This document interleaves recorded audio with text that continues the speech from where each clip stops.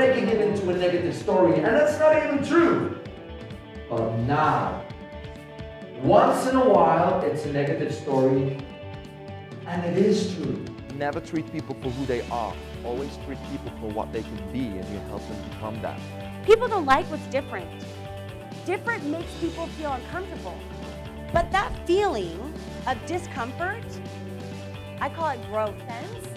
But really, why not switch it and say, wow, change their mind, get into their head, and know that their body might not be reflecting what they're thinking.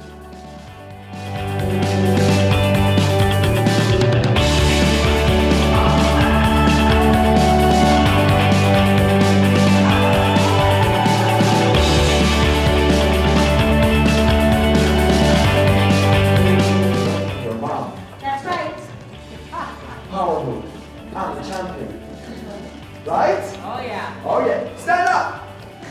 So when we're going into a power move, it helps your brain, your body connect for a new train of thought.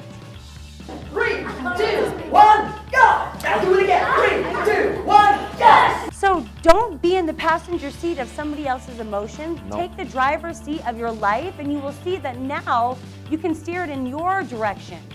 Never in your life I want you to ever say again, oh, I'm so happy to be with you because with you I can be myself. If you need to tell people, oh, with you I can be myself, they're the right people. But that means you're being somebody different with everybody else.